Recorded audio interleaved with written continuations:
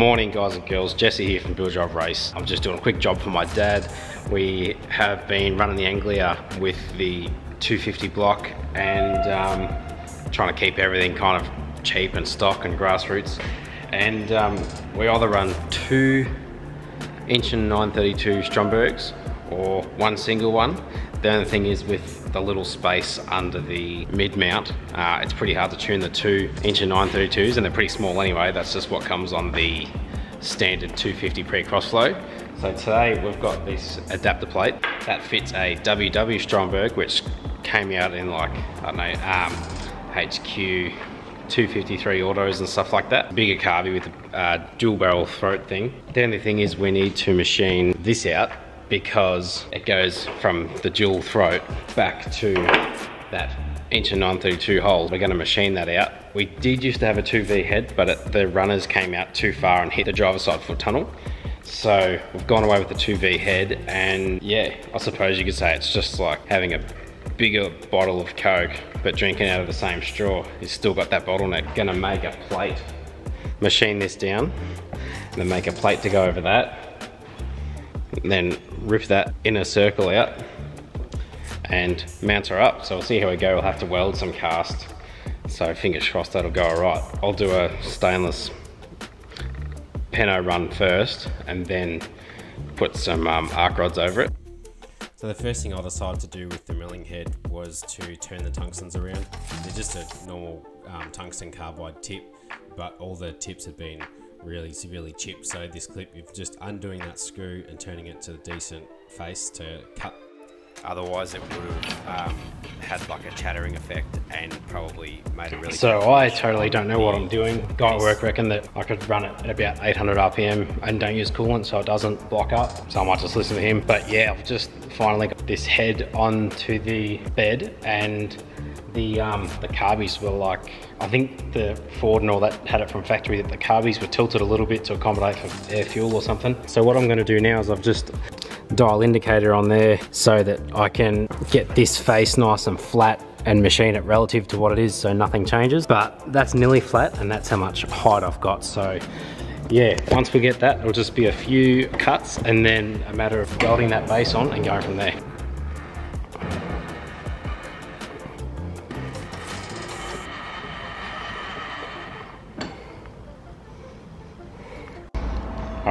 Within like 0.4 of a mil um, with these things here, but the increments go in like, they go in like one, one or two mil increments. So that's as good as we're gonna get with that. So I'm just gonna have a play around and maybe put a paper shim underneath it just to get that last bit.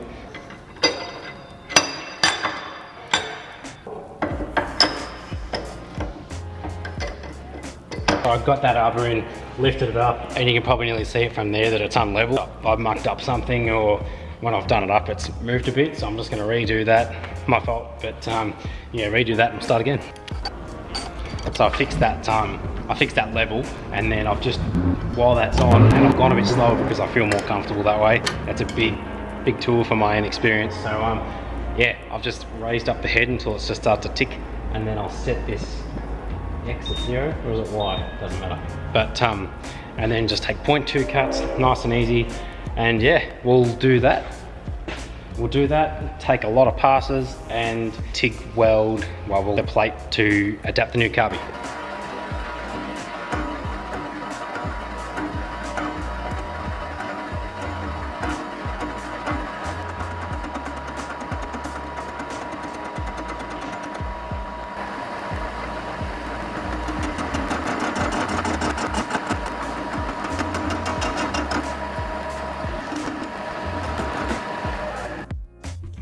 Once that was machined flat, we now got a flat surface to work out how large we can make the hole without protruding out the sides of the log manifold. It is a little bit smaller as in the walls of the log manifold don't allow you to fully cut to the inside of the gasket, but it's still a lot bigger of a hole than the past. So I've just created a uh, template with the gasket and then roughly machined there with a 19 mil end mill the best thing you can do is use the largest angle you can, but this is what I had to work with and it's worked fine. One thing that I did learn with those wedges was not to do them up too tight, tight enough so that the workpiece doesn't move, but there was a, a scenario where I did chip off a little bit of the head in a non-important spot, but yeah, that's no good.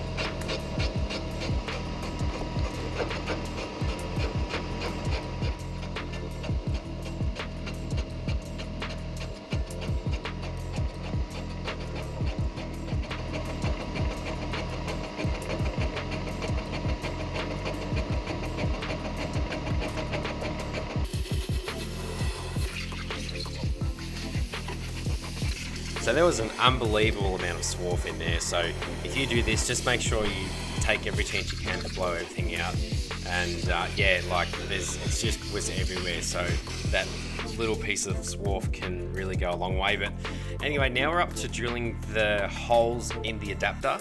And the best thing I've sort of wanted, uh, found was that from corner to corner and then double check that the distances between every side were the same. It's pretty hard to go off the side of the casting because it's not perfectly square so don't expect if you have one of these Lynx manifold adapter things as you can see it's a couple millimeter square. So when you mark your holes just double check that the that they're square and that they drill you can drill them in with the next plate that we make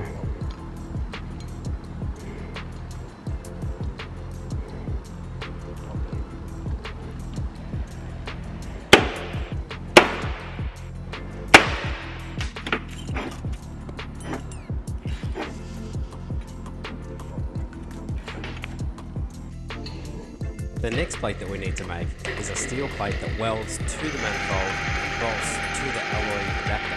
I've just chosen to use a 6 mil plate so I can get a good amount of thread to tap into it and so that I also can weld it without it bowing or giving way or anything like that. Basically you just want to make it the same overall size as the alloy adapter so that you can bolt it together and then you want to drill the holes the same size so that that matches up too. I've just decided to drill two holes and use the oxy cutter to make that, to cut out the excess and make it an oval shape.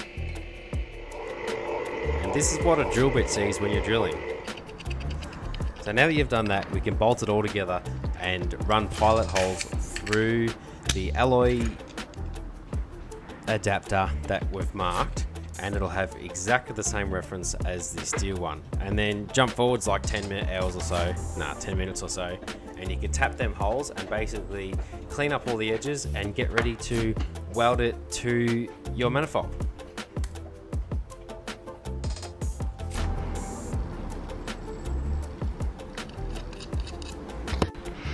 Guys, we're pretty much at the end of this little job here. Uh, I've that and I've made this slightly bigger than the hole on the head so it gives me a little bit of a lap to make it easy, easier to weld for me. The thing that you have to be careful of with this is that you use the countersunk one so you've got a flat face so that it doesn't inter interfere with the gasket.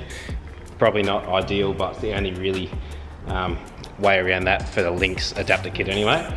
And um, yeah, so once this is done, you can probably put any larger carby really because the adapter kit's pretty universal.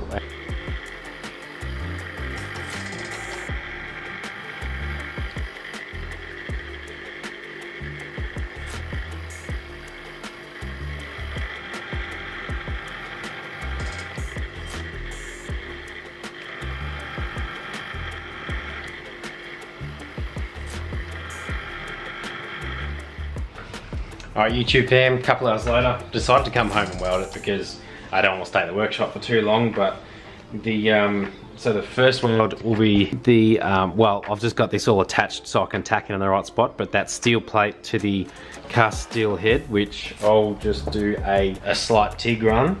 That's just gonna seal it up, so I'll just use 1.6 stainless wire for that probably set around 90 amps. I've got enough thickness to play with, so I'll set that around 90 amps and run a nice bead on the inside. Yeah, it's a weld cast. I don't even know what this is, but someone's welded it before me, and it looks like it's with a stick welder. Yeah, when you weld cast, you can use low hydrogen electrodes, which something like the WIA 16 TCs. This one will do. I'm just gonna do a tack either side because it's already sealed up just to give it a bit of strength. And then um, just one last match port and that should be it. So yeah, I'll just turn this on and I'm using the using the foot pedal because I want it to be more like a race car. No, I just want a bit more control in case it gets hot or whatever. If you need to weld it and your stainless thing doesn't stick, try some cast rods. And also what you can do is post cooling. So instead of letting it cool down at room temp, you can, what I've seen before is lime powder. If you stick something in lime powder, it will take ages and ages, like days to cool down. And what that does, I think, is like everything is like a weld pool, and then as it crystallizes, if, it, if one crystallizes quicker than the other material, it'll crack away. So that's what the post cooling does. But yeah, so we'll just set this to 90.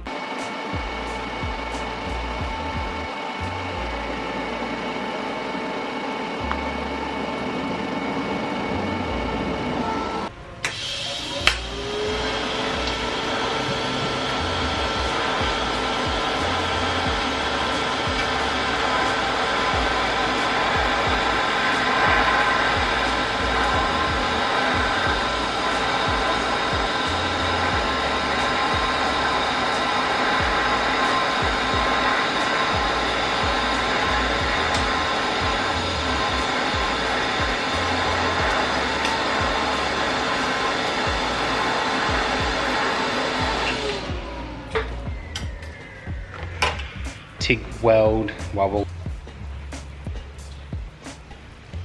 Oh, so I just realised that the um, at 120 amps, which I turned it up to for the stitch, it cuts out after about 50 mils. So I'm not going to record the rest of it because it's going to be frustrating watching it cut out all the time. But yep, it um, welds up alright. Not the tidiest weld, but yeah. So I'll weld all around there, and yeah,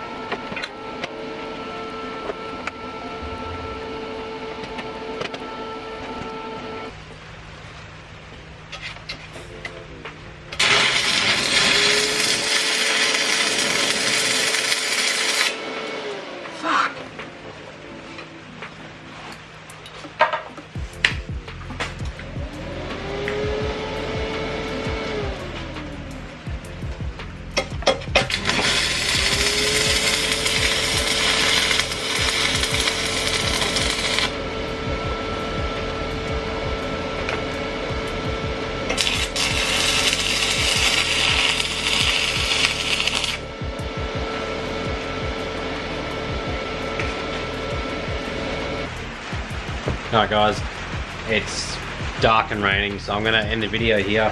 If you're still watching, yeah, thanks for watching, and um, leave a, a, comment if you're interested or want to know anything. I think it's a pretty basic mod to do for a pre-Crossflow 250. You can obviously um, always go out and get the 2V head, but in our case, being in an Anglia, there's no foot room for the widened manifold anyway, so that leaves us with this option hopefully having the dual barrel will be better than the 2 inch and 932s. We'll see how we go. It's all test and experiment. The worlds look alright. Dad will come and pick that up tomorrow and get that on the Anglia before our next race. And I think my next video will be, I'm not too sure. If you've got any questions, happy to answer. Leave a comment, subscribe if you haven't already. Yeah, thanks for watching and I'll see you in the next video.